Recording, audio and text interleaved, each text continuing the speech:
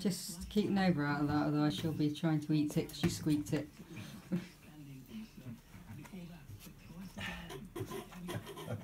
what?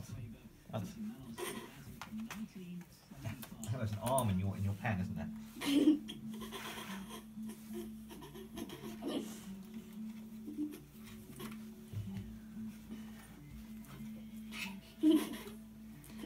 don't know what Apollo's doing, she's having a moment.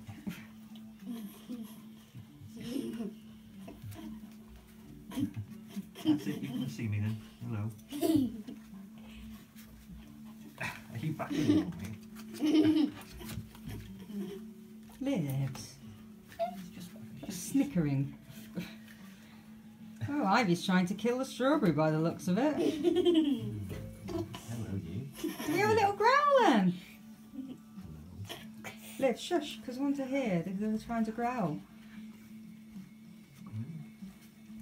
Yes. How you doing?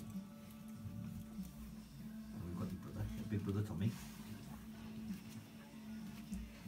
Um, and Apollo really is probably the most developed with moving around and walking.